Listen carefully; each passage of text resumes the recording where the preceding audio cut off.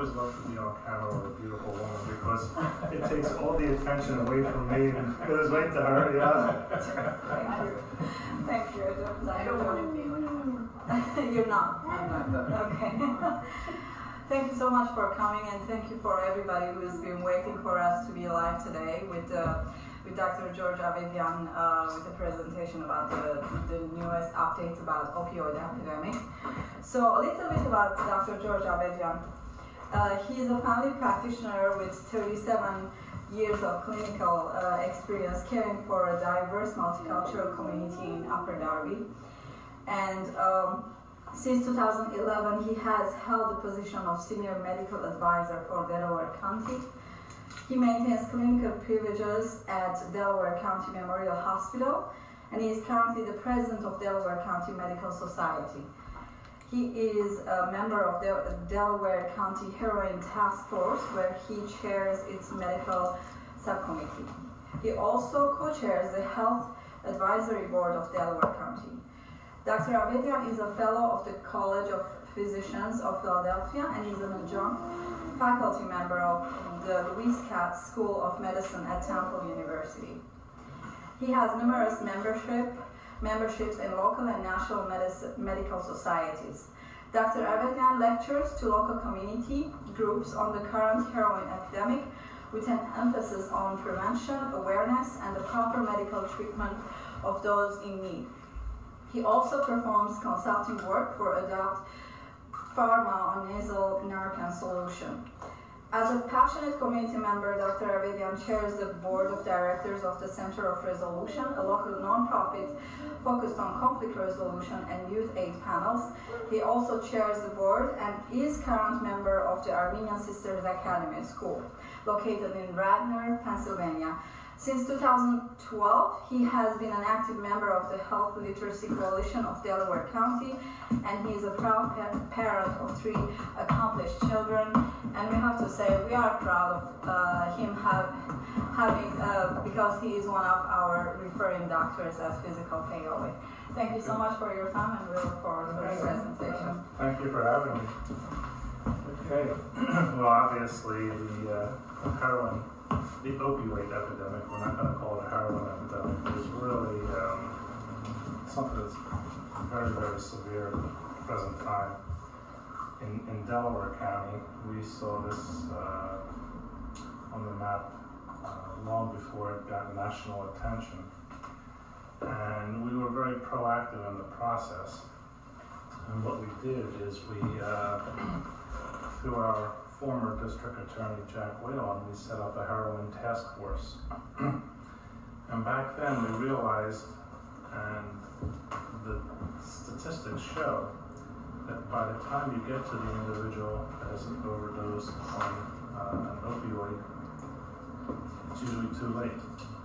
The mechanism that it causes death is through respiratory depression or respiratory arrest the, in you know, four to six minutes, you can have irreversible brain damage, and in another four to six minutes, you don't have a patient, you don't have an individual anymore.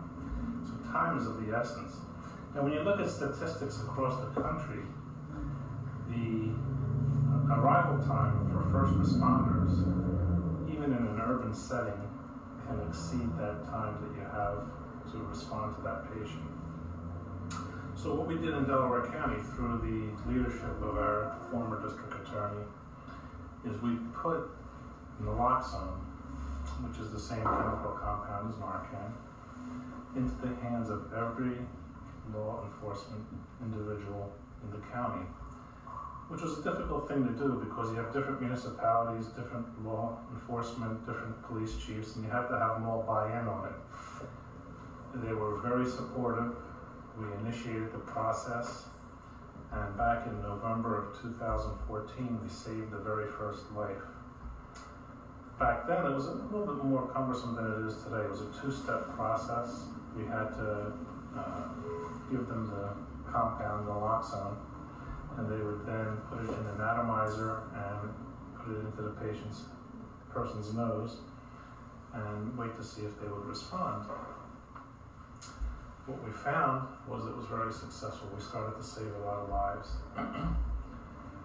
In February of 2016, the um, Narcan nasal spray became available commercially, and it was uh, brought to the market. It was um, expedited through FDA. The, actually, the company is located very close to where we are in Radnor, their corporate headquarters. and Adapt placed nasal Narcan spray on the market. We, in Delaware County, I realize I think we're here in Chester County, but in Delaware County, we were the first entity worldwide to purchase it.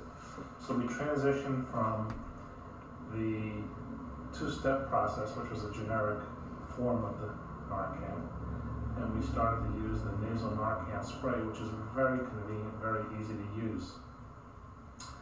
So immediately all law enforcement got it, and we continued the process. But in addition to providing Narcan, you, know, you have to educate the community, and we started having uh, programs at um, the, the medical society, for example, uh, community groups, and we instructed them on uh, how to use the Narcan nasal spray and you know, its efficacy and its benefits. The, uh, the product was very, very simple to use and very easy to use, and it doesn't require any real special training. The good thing is the company that manufactures it has a website that shows you how to use it. There's an app that you can get on your cell phone that shows you how to use it. And initially on that app, it was so user friendly that there was a, uh, a button that you could hit and it would call 911. You would get police right away.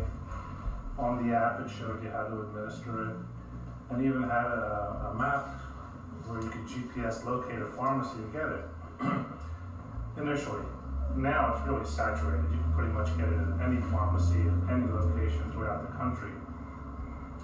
I, uh, I do consulting work for uh, Adapt Pharma. At the time it was Adapt. Now Adapt sold to another company about a, year or so ago. It's called Emergent Biosolutions. And the um, product has obviously uh, been very well um, advertised and communicated throughout the entire medical community and through the lay community. And we encourage its use. I speak to physician groups on a regular basis, and what we encourage the doctors to do is to co-prescribe. In other words, if you're a dentist, and we have a dentist in the audience here, um, I have to say I've known him for quite a few years, Oh, back when he was uh, in the Armenian Sisters Academy. Oh wow. And um, but, you know, dentists treat a lot of uh, patients with pain, and uh, they write for opioids on a regular basis. And I think there's a need for it. But anytime you prescribe an opioid, what we do is we always compare them to morphine. Morphine is the um, comparator. the modern opioids, the fentanyls and, and you know the more potent synthetic opioids, are extremely potent. And what we do is we put them on a, a scale so we can compare one to another. It's not used for medical purposes to prescribe, but it kind of gives us as physicians an idea as to how, for example, uh, fentanyl compares to um, morphine. Well, the ratio for that, for that product is four to one, four times the potency. And then when you get to a, what we call morphine milligram equivalents, once you get past 50, you really have a risk uh, greater than twofold, and it becomes exponential at that point when it goes up to 900 MME. And what we do is we encourage physicians to co-prescribe the Narcan with the um, product that they're using for pain. so obviously, as physicians, you know, we see um, patients that have fractures or uh, patients that have, uh, you know, cancer pain. Uh, obviously, dentists see a lot of uh, dental issues that cause a lot of discomfort. We have to understand these products are good products. They have a place in the medical toolbox. However, they do come with some baggage, and that's why we encourage the use of the Narcan. co-prescription of Narcan. now, when we talk about uh, the product itself, um, very safe, very effective. It's very um, ease of use is uh, is very very simple. It's uh, a little. I wish I had brought one. I didn't bring one with me today, but you just place it into the nasal cavity, and there's a little plunger. You squirt it in there, and you wait a, two to three minutes to see if you get a response. And if you don't, you get a, a you, you apply a second dose. It comes packaged two doses per box, and they're blister packed, and there's instructions on the box that it comes with. So, what we did in Delaware County, again, we were the first statewide to have a heroin task force. And we kept the name heroin, even though the products out there are really not heroin that we're seeing as much as, for example, the uh, opioids. But we kept the, the, the term heroin task force. So we were first statewide to do that. We were first statewide uh, to initiate uh, naloxone and subsequently Narcan into the hands of all of our uh, law enforcement. And, uh, you know, we worked very collaboratively. We put together a heroin task force. County leadership was 100% committed to it. And now we have seen where that model has spread throughout the state. As a matter of fact, in about two, three weeks, I think it's the 25th of this month, we have a regional uh, task force, and it consists of Delaware County, Montgomery County, Chester County, uh, Bucks County, uh, Delaware's, uh, I forget which county that would be in, Newcastle, I guess, and Camden County, as well as Philadelphia County as part of that regional group. And we get together and we have programs to brainstorm, you know, best practices and, and what we can do to work collaboratively as a team to address this, this crisis.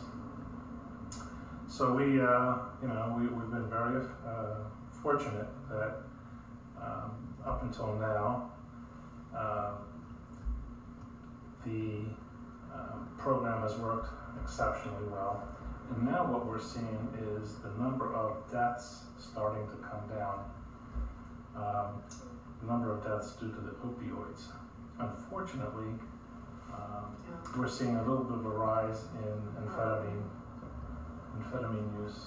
As a matter of fact, I believe yesterday in the news you may have read uh, there was a, a, couple of individuals in Drexel Hill that uh, succumbed, and apparently, again, I don't have all the details, but it was a mixture of a fentanyl with an amphetamine. Now, Narcan works perfectly well on opioid overdose, but it doesn't do anything for the amphetamine. So that's what we have. These drugs have been around for a long time. Okay, um, if we go back to 3400 BC, to the little history lesson here, to the area that was referred to as Mesopotamia, the area between the Tigris and Euphrates River, in modern day Iraq. There's literature that has been identified showing the use of the opium poppy as an analgesic. That's you know, quite a while. You fast forward and you go to about, I forget, Hippocrates is around 3 or 400 BC. And as the father of medicine, Hippocrates um, uh, referenced the use of opium in the treatment of individuals that had the need for analgesic uh, control. What happened uh, that really expedited the use and really um, pushed the use of uh, these products was back around 20 years ago or so. Um, we started looking at the fifth vital sign when you went into the hospital, you would see, you know, in the patient's rooms, you know, uh, little uh, charts looking at pain management. And pain became the fifth vital sign, in addition to, you know, blood pressure, temperature, uh, pulse, respiration. Now we were monitoring their pain. And, you know, um, it became a very important part of patient care. but it also, at the same time, promoted the use of these products, the, the narcotics for pain management. And then, of course, what you see in the news today, you know, a lot of misinformation. Um, some of the pharmaceutical companies were putting out, uh, pushing these products um, inappropriately, and unfortunately now there's a ton of litigation. As a matter of fact, Delaware County was the first one to sign on for litigation in the state of Pennsylvania against um, several of the pharmaceutical companies. I keep plugging Delaware County. You have to understand that's where I'm from. My heart and soul is, is I'm a Delco guy. So, in in uh, in any case, the problem is a huge national problem, and um, it is being addressed. It needs to be addressed on multiple levels. We address it not only locally as we do here in Chester County and Delaware County, but it's on the state level and it's also on the federal level. Um, what happened, our model was so well received, we actually had the Secretary of Health and Human Services come down, and we had a nice little roundtable meeting where we shared with him our concerns and, and our programs. And in March of last year, I was invited to, to the White House at the uh, opioid summit that they had, where uh, President Trump at that time announced his program and the fact that he was going to be throwing more money into the uh, dealing with the problem. Um, I think the most important way of dealing with the opioid epidemic is education. You know, we need to educate the community, we need to educate physicians, and we all need to be aware as I said earlier, a, these, these are very good products. Very effective, they're very efficient, they are an important tool, but they do come with um, a little bit of baggage. And for that reason, we need to be proactive and, and, and careful when we use them as physicians, as dentists, and we need to um, educate our patients and let them know that you know there are potential side effects and, and hope that uh, we can minimize the, uh, the problem. Unfortunately, what we found was people that became addicted to the opioids were unable to afford buying it through prescription method, and that's where they started going to the street and buying the illegal drugs. and they were uh, originally, you know, it was primarily heroin, but then you had the more uh, potent compounds uh, go on the street, the fentanyls and so on. And for a little while there, um, was a, a, product that was um, being thrown out on the street. And that's a product that has absolutely no use in, in human medicine. I believe it's it's meant to be used as a um, uh, a narcotic for in the veterinary um, community for elephants and rhinos and, and it was for just. Well, you know, it's interesting. My daughter's a veterinarian. I asked her, "Have you ever?" And she she's a equine specialist, horse specialist. They're large animals. And I said, "Have you ever used or seen carfentanil used?" And she said, "Absolutely never." Oh. So you know, this was a drug that was coming in primarily from China, being put on the street, and it was almost instant death. You know, it was uh, it's such a potent compound. So, you know, the bottom line is um, anything that's on the street, you have no idea what you're getting. And, you know, you really hope that individuals don't go to that. What we've also done in Delaware County, um, and we did this just recently, and we have a, it's a pilot program that we're doing for the regional group. and what happens is with the death of individuals, there are victims, and the victims now become the family members.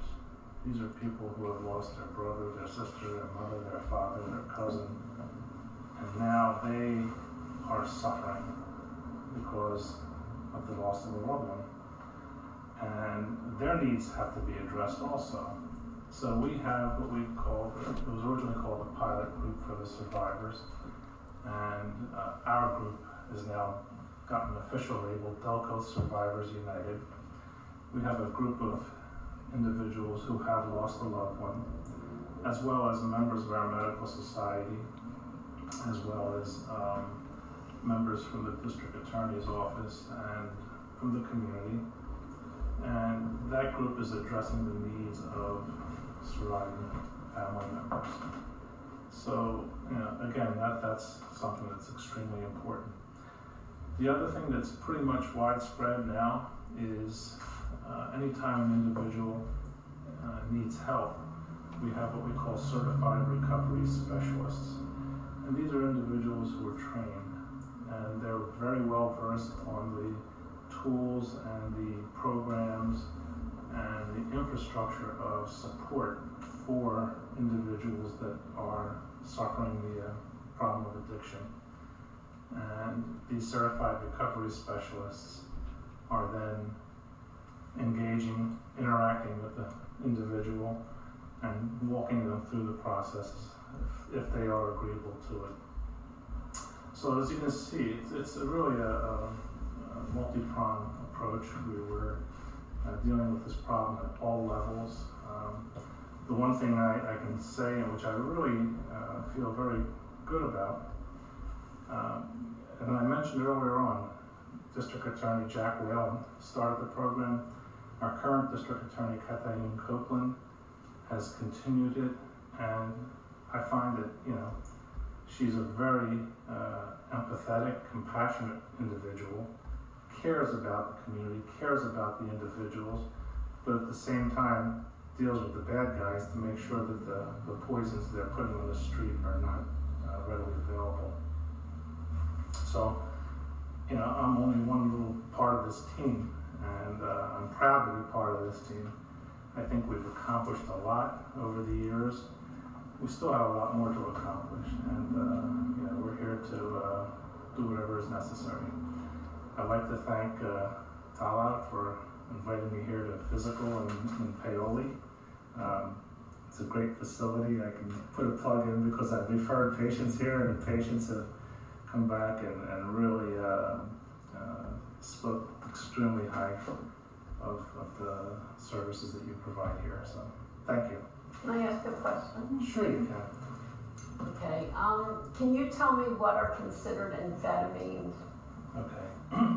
Amphetamines are a class of drug that are stimulants. Okay? And what they do is they stimulate the nervous system. Um, if you want to go back historically, one of the biggest groups that used amphetamines were truck drivers back in the day before they had restrictions on the number of hours that they could work. And as a stimulant, it kept them awake and alert able to drive for many more hours than they normally would. Um, there are uh, amphetamines that have come to the market and have been taken off the market. Um, a lot of amphetamines that are available on the street are coming out of uh, illegal labs and they're being uh, manufactured and distributed by drug dealers. But they are stimulants. They work differently than opioids. Opioids act more as a depressant, and in a high dose, they become a respiratory depressant. And that's, as I mentioned, the mechanism of death is they stop breathing.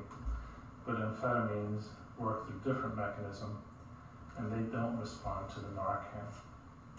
Um, are steroids that you might take for a limited period of time for pain reasons considered amphetamines? No. A steroid is a, is a different class of medication. Steroids are different, amphetamines are different, and opioids are different. Steroids are in a class of anti-inflammatory medications. Okay, um, they decrease inflammation, and in the process of decreasing inflammation, they can also help alleviate pain. They are used a lot in rheumatologic problems, you know, rheumatoid arthritis, for example. But we have other drugs that we also use, um, much more effective and better modern drugs uh, to treat the rheumatoid problems. But steroids still have a place. Um, they are not narcotic. They are not amphetamine. They're just uh, anti-inflammatory. We have anti-inflammatories that are non-steroidal, non-steroidal anti-inflammatory drugs such as aspirin, ibuprofen. Those are uh, non-steroidal anti-inflammatory drugs, and they work very well for pain also. You know, the Motrins, the Aleve are the uh, the ones that are most uh, commonly utilized are very effective pain management. Any other questions? Yes, I have a question. Um, Sure. So I'm a dentist. I work right next door. Um, I have a question. I mean, right now, I don't like to prescribe opioids for pain, I mean, just because of what's going on. I'm always cautious about that. Um, you know, they're telling us, you know, the dentist, you know, giving patients maybe 600 milligrams of Motrin and extra Tylenol at the same time, and you know, that should do it for pain. Mhm. Um, is there anything I should be looking for? Let's say I wanted to write a Percocet or something like that nature. You know, what should I be looking for as a pain? You know, I don't like to deal with pain basically. I just like to take the tooth out, send them on their way. Um, but I'm, I'm in this new breed of dentist where we're afraid to write opioids now because we see what's going on. Um, but you know, let's say I don't know it's a, it's a weird example, but let's say you, you need to do like a little surgery on the arm or something. What would you prescribe? It's interesting because everyone's threshold of pain is different. Yeah, Okay? Um, and again, opioids are drugs that have a place in the medical toolbox. Sure. But as I said, you know, I'll give you myself as an example. sure, right, I cracked a tooth maybe Oh, about nice. four months ago. Yeah. Okay? And I en- ended up having um, root canal, and I had to have, I guess it's called post and crown. Yeah, okay? Um, during the entire process, Mhm. I only used ibuprofen to Sure. manage the pain. Um, but I could see where the pain is severe enough Right. that someone may need a more potent product. As long as you use it judiciously, sure, there's no real downside to it. Um, you're obviously trained in this property. Sure. And I like the fact that you're a little skeptical and a little resistant to use it because that's showing that you're concerned about the safety of the patient. Um, but again, you need to know the product that you're prescribing and the morphine milligram equivalent of the product. And you know, you're primarily dealing with acute pain sure, Acute pain is very, you know, short-term management. You're not writing large quantities of an opioid, whereas in chronic pain, someone uh, may be given, you know, many months of, of supply, and the risk is much higher. Okay. The other thing that you have to also realize, um, in addition to the patient who's at risk, there are other um, risk entities. So number one is the individual who's taking the drug. That individual is potentially at risk for opioid-induced respiratory depression. Those that live in the household are also at risk. For example, if there's little children in the house and they get a hold of that drug and accidentally ingest it, they can be uh, potentially at risk. It can also be misused within the household. For example, um, you're a weekend warrior, you decide you're going to go out on a beautiful day like today and cut the trees and rake the leaves, and you spend like the next uh, 10 hours outdoor, and then you come back in the house, and now you're, you're, you're torn apart. And then you go to your wife, or you go to your, your, your brother, your cousin, and say, Can I think for pain? Well, obviously, we would hope that it's going to be a little bit of an ibuprofen or something, but people do take medications that are not prescribed for them, and so that's one one form of um, uh, diversion, they would call it. But the real concern is the illegal use. What we found in our heroin task force is we actually had representatives from the community. One was a real estate uh, person, and found that during real estate open houses, people would go in and go right to the medicine cabinet to see if they could get a narcotic and, and take it. And that was their only purpose of going into the house during during an open house. So yes, you know, the products can be um, putting others at risk. Um, but again, I like your approach. You know, you're very cautious the way you're going to use it, uh, and you're not really using it for uh, long periods of time and in large quantities. But if you go onto the CDC uh, has an app, you can get it on your cell phone. I have it on mine, and on that app, it basically shows you and does all the calculations for you. There's the app right there as I open it up Oh, nice. and um, it's uh, very effective. And what it does is that you can put down the uh, product that you're using, and you can ask. It gives you opioid prescribing checklist, CDC guideline for prescribing in chronic pain. Opioids are not first line therapy. And these are things that are Sure. on the opioid uh, app that you can get right off off the uh, CDC website. And then I mentioned about the Narcan. This is the uh, app that uh, um, the manufacturers of Narcan have, and on that app it goes through all of its uh, uh, safety and administration. It has a little video on how to administer it. Uh, you know, Handy stuff. use the technology. A great tool to have also.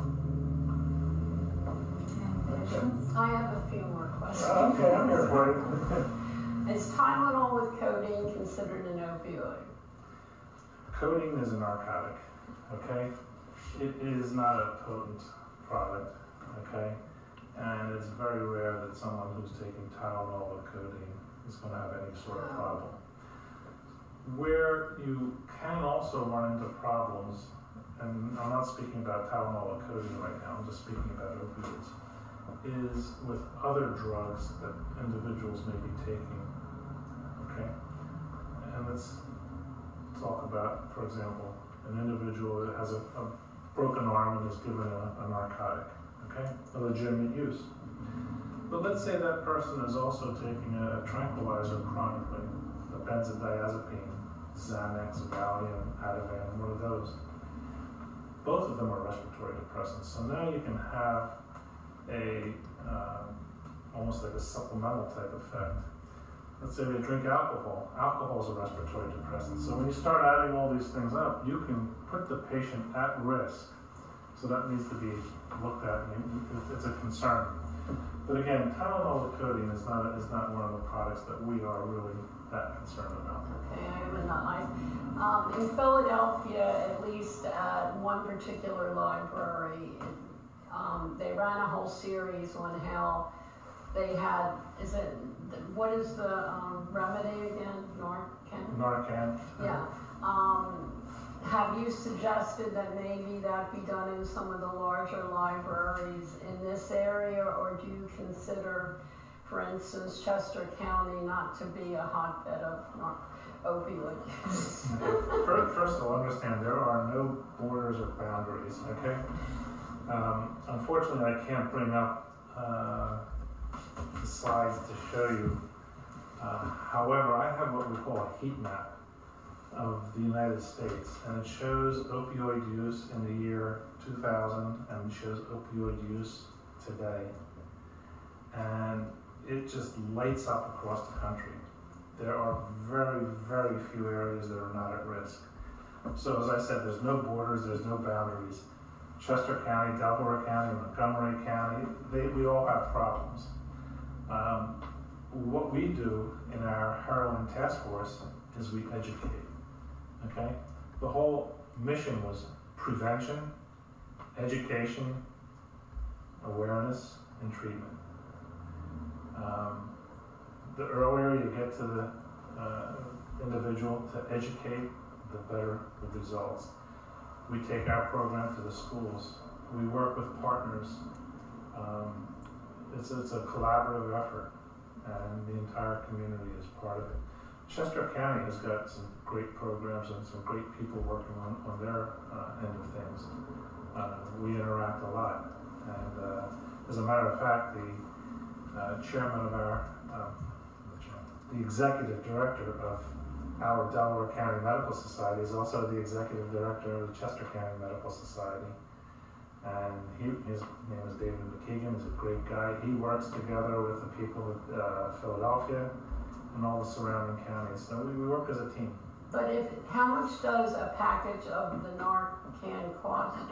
Well, that's a good question. I like that one. Okay. Narcan nasal spray is covered by pretty much every insurance company out there. Okay? And the overwhelming majority of it has a minimal copay. It might be ten dollars, it might be twenty dollars, and that's it. The um, product is also available without prescription. Okay? It's what's called standing orders. So that if you had a relative, very close friend, family member, neighbor, whoever that you were concerned about, legitimately concerned about, and you wanted to, you know, have Narcan available in the event they needed it, all you have to do is go to the pharmacist and say, I would like to have a uh, box of the nasal Narcan spray. As I mentioned, it comes two units per box. You do not need a written prescription. it is kept with the pharmacist. It's kept behind the counter. It's not over the counter, but it's readily available. In the worst case scenario where someone would have to actually put money out of pocket to purchase it, the um, the retail price is about probably $125 for the two units. But as I said, it is very well covered on insurances and all types of insurance, whether it be uh, medical assistance or private pay. I was thinking more of if govern, if libraries wanted to post it, because from what I gathered from the article in the Inquirer, that people who are using these opioid problems in some cases would shoot up, whatever you want to call it. They use the libraries. They like use them in libraries. Mhm. And I just was wondering, that those, I was just wondering if we could suggest that it be available in all large libraries. I, you know what, we, um, and I guess each jurisdiction is gonna determine where they're gonna put it and how it's gonna be distributed. Plus, there's many different groups that are focused on, um, educating and, and also providing Narcan.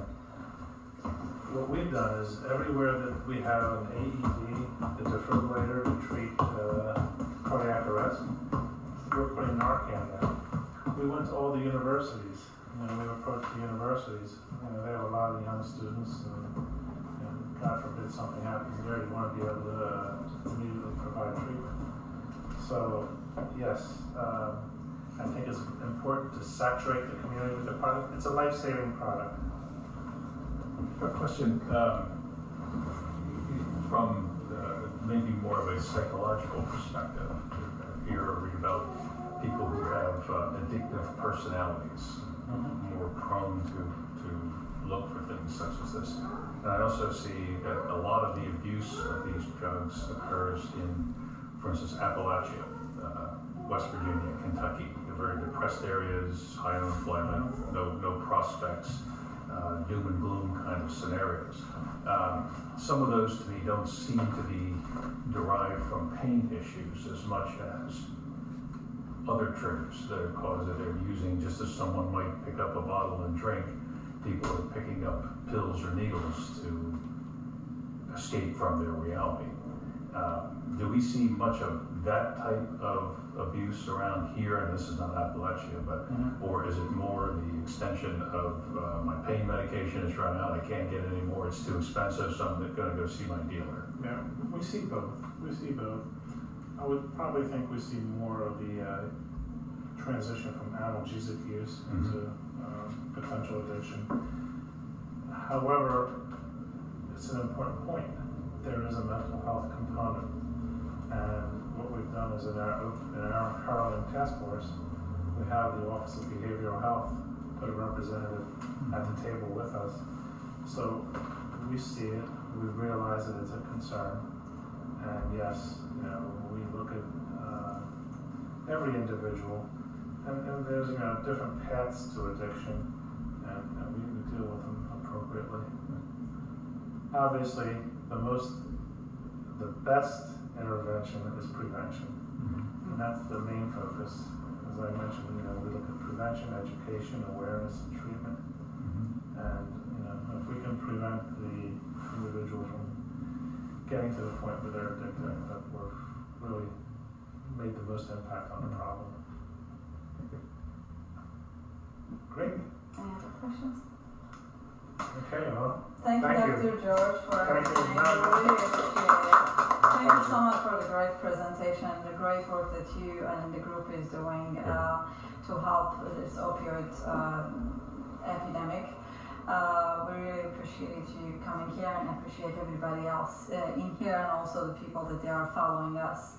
Uh, just, just for everybody to know, every month, the first Saturday of the month at 11 o'clock, we are going to have one of the referring doctors who is going to come and present something that our community is in need so much. Next month, we are going to have uh, a doctor, Dr. Schwartz, who's coming and talking about diabetes and diabetes neuropathy because that also relates to our patients. And the very next month in December, Dr. Ross Norian, who is uh, next door, who has a dental clinic open till 12 midnight and during Saturdays and Sundays, which is a very unique dental clinic, which I've never heard of. Uh, he is going to talk about Geriatric dentistry. geriatric dentistry. So uh, hope to see everybody here, and also just just an update. We are running a balance assessment test the entire month of October, and we know, and it's totally for free, just to prevent people from falling. Just like you were saying, preventative work is much more important, as much as important the, the work that we can do just in case if the person already fell into whether opioid or really fell. So uh, just pass by anytime you would like, and we can give you the 10 minute assessment test, which is totally free, and you can do whatever you would like afterwards. You can, um, if there is no need for you to take therapy, that would be great. If uh, in case we can talk about it then. Thank you so much again, and Thank you. enjoy your weekend. Thank you. Thank you.